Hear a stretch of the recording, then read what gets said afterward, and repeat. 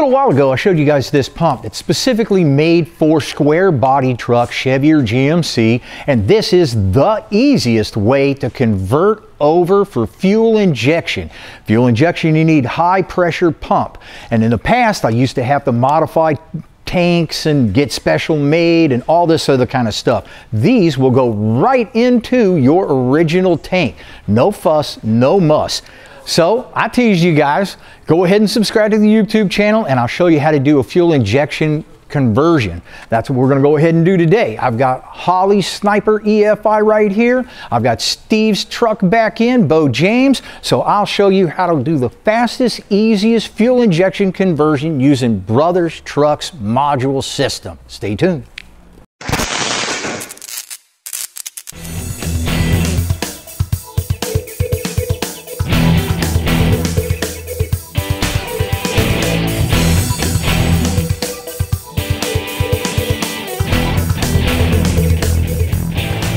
All right, so first thing I like to do is disconnect my battery right here. Now, you, not a lot of power going to that or anything, uh, just the sending unit, but it's always a good idea to disconnect your battery before you do any kind of work like this. We've got the truck jacked up because we're gonna need to pull the tank out down here and we need enough room to be able to get it down and out. So make sure that you're all safe when you get this all jacked up. I'm gonna go ahead and pull this out of here and I'll give you a couple helpful handy hints on how to do that, so stick around. Taking your gas tanks out, not a big deal, but um, you got a couple different ways of doing it. You could just loosen these right here. That'll take as straps and you can take them out, bring the tank down, put a new one in, or swap your pump over here. I'm gonna get rid of this guy. It's pretty old and ugly. It was giving me some delivery problems leaking here and stuff like that. So I'll show you how to do this on a nice new tank.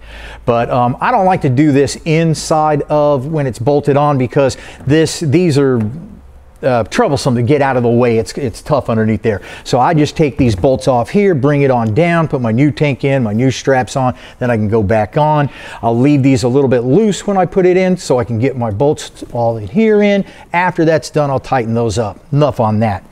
So I just cut the hoses off here in the top because I'm not going to be reusing any of them anyway. On the side right here, where your filler neck holds on, you're gonna need to get these hoses off right here, and you're gonna wanna make sure that you get this filler neck off too. It's got three little screws right on here. If you don't get that all off, when you're trying to take it out, it just kind of makes a mess and makes it more difficult. So take your filler neck off first, Personally, I take the brackets off with the gas tank and then on out. And uh, now I can get rid of this guy, pour out my old gas and save it. And I'll show you how to install the new stuff on the new tank, so stay right tuned. So really all I had to do is pull out the old sending unit and put in our new module. Um, you don't have to replace your gas tank, it's just ours was obviously old and pretty tired and ugly and stuff. So that's the only reason I did this one, but you don't have to do it at home. If you have two tanks, you're gonna have to do both tanks though. And when I'm putting this back together, if you're gonna be putting yours back together, I'm gonna put my stone guard back on. I had to trim it a little bit just to put it on the new tank. And then um, I went ahead and got my guards right here this just keeps your straps from digging into the metal too much. So if you're gonna be swapping everything else, go ahead and get these at the same time. I'm gonna get this all on here and then I'll show you how to put the module in. All right, so just in case you didn't see my other video on this, let me reiterate a few things. Down here we have what's, what's known as a Hydramat pad, and this is gonna make it so we don't have to have a specific sump, uh, a little bath, if you will, that holds onto the gas. When you're turning and everything, your gas is sloshing around. We need a consistent amount of fuel at this pump or it'll dry and burn out. That's why this Hydramat is for, it's gonna soak up all that gas and have a ready supply for our pump. This also has a regulator on it right here, so I don't need an external regulator. That's nice because it cleans up the engine bay a lot and saves me the purchase of that and the time to install. It already has the sending unit in it too. So you're getting two, three, four birds of one stone of this guy. When it comes in the kit, it will not have the Hydramat sock or, or Hydramat here installed. To install it, you got to make sure that the big hole and the little protrusion is lined up when it goes on, it'll just go on the one time and be all ready. When I'm installing this, I can only install up to that point, and now my sending unit gets in the way. So all I have to do is unscrew these two screws right here, and then I can take this off and slide it on in there. I seem to have misplaced my screwdriver. One second. Okay, so you're just going to take these two screws out, and you don't actually have to take them out all the way. They're going to hold onto the sending unit, and that's good because if you take them out all the way, you might uh, lose your uh, lock washers that are on there. And another thing you want to watch out for if you were to take the screws out all the way is that you have a ground right here that's attached. So make sure that if you take these out, you don't lose the screws, the lock rings, or where the ground goes. Now once that is unattached, now I can take my sending unit, float, and just slide it into the tank, and now I can put my screws back together again. So a few other things I like about this is that I don't have to run an additional return line. This here just has everything go in the tank. So that's going to save me an extra 10 feet of hose, the time to run that, and um, the cost of it all. So this is just a really sweet little deal. It's just so many different things together in one sweet little package that's going to make your life so much easier than all the modifications and things like that that I used to have to do when I was working on square bodies. Now that's all ready to rock and roll. You get this really large ring right here to install. That'll just install right over the top of everything. You can put it on before too. Um, it's just I find it gets in my way sometimes if I do that. So when you're going to be putting this down into the tank, how you know you get it in the right spot or not is you have this protrusion here, you have this protrusion here, and you've got a slot right here and a slot right here. So all we got to do is line up all of those guys Make sure your ring is in there proper. Just got to move it around a little bit. Okay, everybody's looking good. Making sure my ring is pretty. Now I'll take my locking ring and install it. You'll have these protrusions here sticking up. We'll slide that over our electrical connection here and everything. And then you'll notice these three locking tabs here on the tank. So you got these slots right here. They'll go in where those are.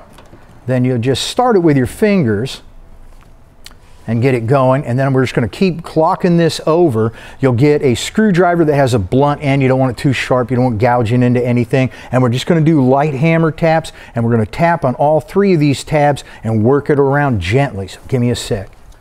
So the nice thing about this system too is that it comes with this nice little pigtail here and you're able to do your wiring and then simply plug this in. So I'll climb up underneath and I'll do all my wiring. I'll have an extended length left over.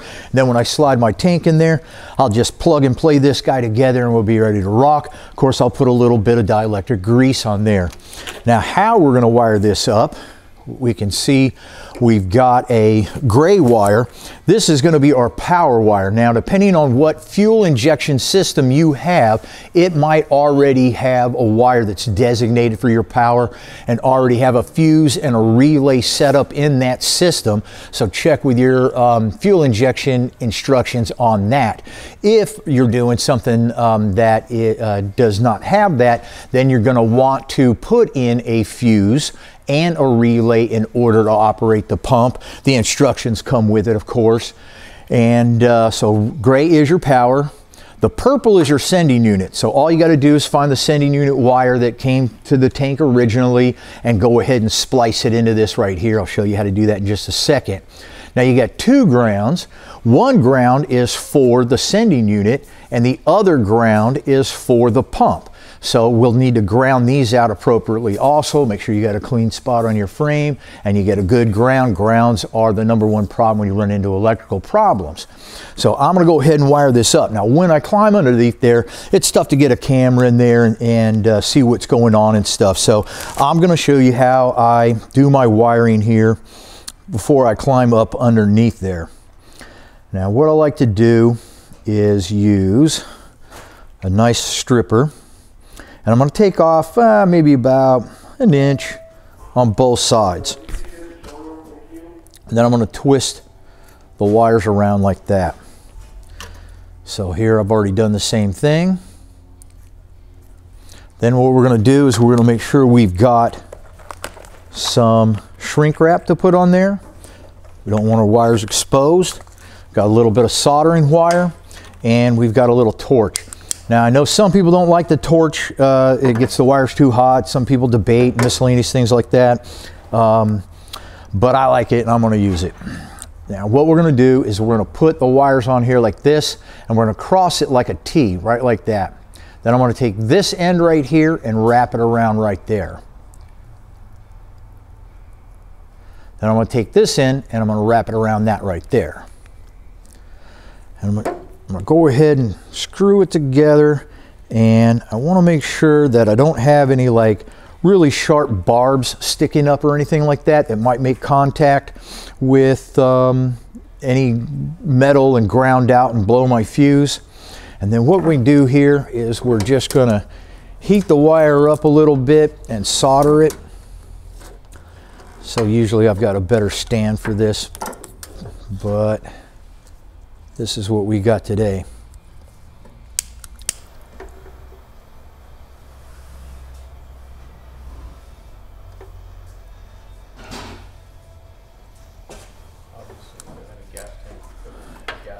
Yeah. No, obviously there's, there's no gas in here, so. And we give a little tug, it's nice and tight, we're all good to go. We'll get our shrink wrap on here. And don't forget to put your shrink wrap on first. Uh, I got a short wire here, I don't have to worry about. It. This is one of the most common things I do is I forget to put the shrink wrap on. Got to take it all back apart again and put the shrink wrap on. But um, just put the shrink wrap on, we'll heat it up, and we're all good to go. So I'm going to go ahead and climb up underneath here, get that all set up. I'll be back in just a bit. All right, I've got everything set up underneath my truck right here. We've got our pigtail ready for a gas tank. I put a new fuel line on there. You can't use your old fuel line. Now I'm actually gonna be tying into the existing metal line that's already in there because it's in good shape and it's a 3 8 inside diameter hose so I can use it for that. Um, but I have to have the specific high pressure hose on there so make sure you just don't try to use your old hose, get new hoses and new clamps on there.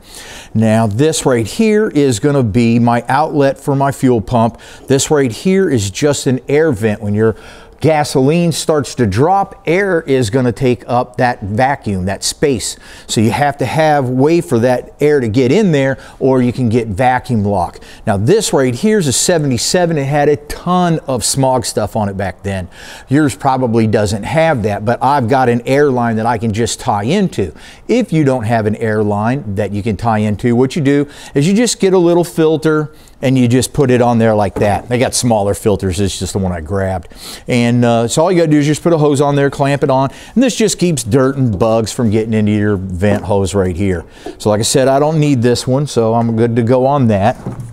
Now, when I'm gonna, um, I'll slide it up underneath there and then I'll have to put it on a jack. When you do that, make sure you have a board so you don't have anything dent into the gas tank. I've got these straps right here still a little bit loose because when I put it up in there, I might have to bonk this bracket around a little bit in order to get my holes lined up after all eight bolts are in there and snugged up, then I can go ahead and tighten up this right here. I've got my filler neck and my new hoses, new hoses on there and uh, I don't have it tightened up just yet because when I slide it up underneath I'll need to get it exactly in the right spot and then I can go ahead and tighten up my hoses. So when you put on your clamps make sure that you're going to be able to tighten them up and you've got access to them so take a little bit of time and a little bit of thought on which way these are going and which way the head of your nut is so that you're actually going to be able to tighten this when you get it on there. So next I'll uh, go ahead and slide it underneath. I'll put it on the board. I'll jack it on up. I'll do all that stuff I said and I'll be back in a minute, man. Getting all ready to install my sniper there. I need to pull off the old carburetor. Got the gas tank in. I even ran my fuel line all the way up just so I'm all ready for that. Now, in this year's trucks, they had a lot of vacuum lines. So get yourself some tape and a uh, marker or something to write down where exactly the vacuum lines are going to, if it's going to your brake booster or what have you. And you may not be using some of these, so um, you, can, you might be blocking off some. Uh, I'm not going to get into the minutia of this because more than likely you don't have this year and you don't have this many vacuum lines. But the moral of the story is mark your vacuum lines so you can get them on the back in the right spot. Another thing you want to do too is make sure nothing falls into the engine. So put a rag on top of the carburetor before you start doing any work. And then after you take it out, have a couple of rags ready and stuff it into the holes. This way, if anything falls out when you pull the rag out, hopefully it'll come out too.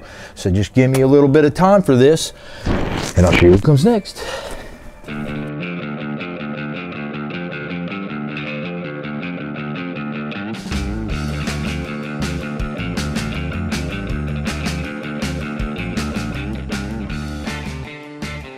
All right, so in a plastic bag in our kit, we're gonna get this carburetor base right here, gasket if you will, and that'll set right down there like that. I'm gonna leave my rags in there to make sure that nothing falls in. I'll take them out at the last minute. And then this here is your carburetor studs. Uh, you may have yours in there. There might be different lengths, but I would take them out and put these in. You're going to want to notice that it is a fine thread on one end and a coarse thread on the other. The coarse thread is going to fit into your manifold and the fine thread will stay on top. Now sometimes when you're putting these in, um, they'll be tough. There's, uh, you know, dirt, green, rice in there, whatever's. So what you'll want to do is you put a fine thread nut on, you'll put a washer on, then you'll put another nut on. Now I'll actually be able to put a wrench on this and um, screw it down all the way and then I'll be able to take my nut and washer and nut off and be all set up. So give me a few minutes to be set up and we'll put that big beautiful baby on there. All right, so I'm getting ready to stick this on. Now there's a couple of things that you're going to want to think about before you put it on. For instance, you got your vacuum lines on the, um, this of course is your throttle actuator right here. So that is going to go on the driver's side, the left side. So it's going to be installing like this. So I'm going to need to figure out where do I want to port my gasoline line. Now the nice thing about Brothers um, fuel pump that I just got through putting in there is that I only need one line. If for whatever reason you like two lines, you're going to have to have two ports that are open for that, but we've just got the one line, that the beauty of that. So I'm gonna be going to the front right here, and uh, but you've got one port right here. You also have another port right here, so if you wanna get stealthy and run it down the back of the motor, different things like that, you got a lot of options in there. Another thing that you wanna take a look at is your vacuum lines. So right here, for instance, it's this is already plugged off, but I'm gonna wanna take this out and put a little nipple on there so I can get the vacuum line for my brake booster set up. And um, you've got multiple vacuum lines going on right here that are already set up. So you'll want to consider these vacuum lines or the one in the back. Consider all those things before you put this on because it's a little bit tough to get to that guy after the fact. So I think I'm ready and I'm going to put this on now. Uh, like that. So we are on and looking beautiful. I've got my vacuum lines uh, all set up. Now the vacuum line for the um, booster here, it actually bolted into the back. So things like that, you got to make sure actually bolted on before you put it on because it's going to be a lot more difficult after the fact. Now that I'm on, um, I just go ahead and just started installing stuff. You have a bracket that's going to come with the kit for your throttle and your um, transmission. You've got uh, the fuel lines here all hooked up. We've got a temperature sending unit that's going to come with the kit and I went ahead and put it in our block right here. And you know, while you're draining the coolant out and um, you're doing all that kind of stuff, look for peripheral things you can get at the same time. For instance, on this one, our gauge cluster sending unit was bad, so we're going to go ahead and replace that at the same time. And you know, check out your water pump and all that kind of stuff. Knock all your birds out one time. So after I'm going to get all that stuff set up, um, I'll just start connecting the wires. And everything has a nice plug and play kind of situation here. And there's no way that you're going to get it wrong because each one of these plugs is a little bit different. So there's no way you can do it wrong. And there's not that many. You've got your sending unit, you've got um, uh, one little wire that's going to go to your distributor here. That's going to keep track of your RPMs, your spark. We've got one wire that's going inside for our display unit right here. I'll show you what I do with that in a second here. You've got a um, pigtail here. This has got a lot of wires on it. I only needed to use the brown wire because that's going to go for our RPMs on our gauge. But you can use these other wires for things like nitrous, uh, triggering your fan. Um, you can use it to uh, elevate your um, RPMs when you turn on your air conditioning. So there's a lot of functions in that I just didn't need, but maybe you do. So you want to figure all that stuff out before you get into it really. And when you're laying your wires out, go ahead and lay them out and then let it rest for a day.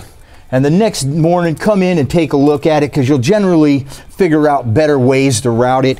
I didn't get really crazy on this one. It's just kind of an original look, so I didn't go with hiding every, hiding every single wire.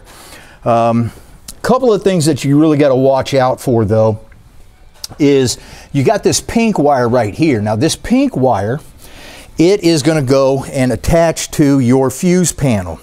And you have to make sure, this is real important here, you have to make sure that you put a test light on wherever you're going to plug that into and you have to hit your ignition key, okay? Because a lot of times what happens is that when you turn it, that final turn, to actually turn over your starter, it won't light up. It, it won't have power going to it. So you have to make sure you have power when the key is on and when you're actually cranking it over. I know that sounds kind of funny, but you have to test for that, otherwise this is not going to work.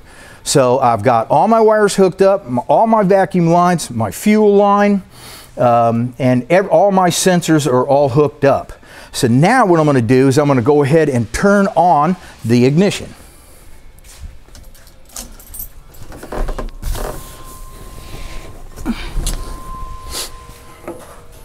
Now when I do, this here is going to light up I'm going to go to Wizard. You get this little pen here that comes with it, makes it a little bit easier. And you just fill this out. It's a step-by-step. -step. Um, which sniper system do you have? Then it'll go how many cylinders you have. Uh, what is the engine displacement? What uh, are the RPMs that you want when it first starts up? So I'll go ahead and program all that information. I'll generally start my RPMs up a little bit higher, like 900, and then I'll let the engine warm up and stuff, and then I'll dial down my RPMs from there. But um, you can see this is a really nice, simple system. Plug and play, computerized, you get your own display, and on that display, I'll show you in a bit, it's actually going to show you your temperature, your RPMs, and a multitude of information that is going to help you get your truck running really good and make sure that you're watching all of the um, temperature and etc. etc. So I'm just going to do a couple of little things here. I'll be back in a second and we'll listen to this roar. We're all ready to fire up. Now I've left the air cleaner off because we want to check for leaks. So what I'm going to do is just turn the ignition on. I'm not going to start the car, just turn the ignition on. That'll trigger the pump. You'll be able to hear it run for about five seconds and then we'll double check it, all of our gas line connections. Then we'll go ahead and start it and we'll double check for any coolant leaks because we put the sensor on that side and our gauge sen sensor on this side. So we got to double check everything before we hit the road.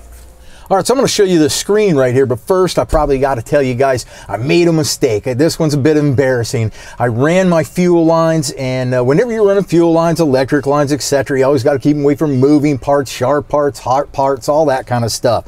When I routed it, I routed it too close to the harmonic balancer. It rubbed on it, cut it, and sprayed fuel everywhere. So double check all those things. Even I make mistakes. You got to watch out for that stuff at home. Now let's get to our little uh, handheld thing here.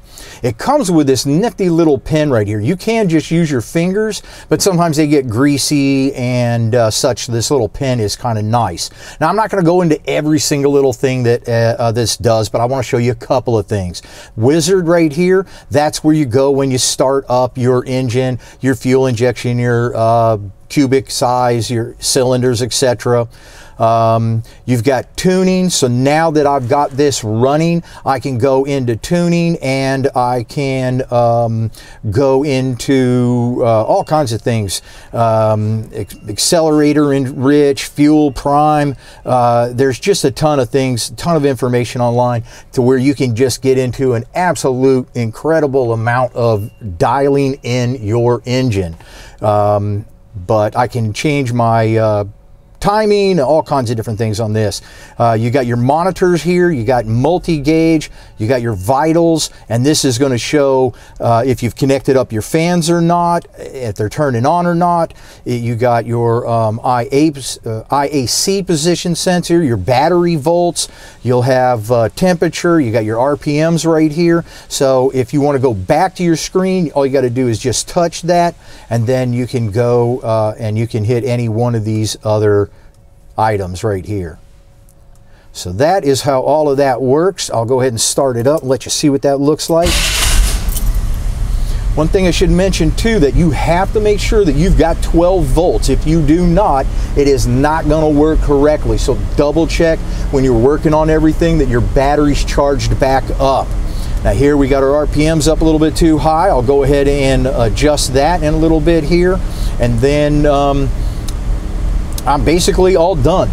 So I just want to reiterate one more time that as easy as it is to install this fuel injection system, the fact that the fuel module system that we installed is so easy is really what I want to reiterate here. There's no return fuel line. There's no regulator. There's no setting up two fuel filters. You don't have to worry about the pump being too far away from the tank and burning out prematurely, on and on and on. All you got to do is put this in your tank that originally fits in there and you are done. So it is the number number one way to do your fuel injection.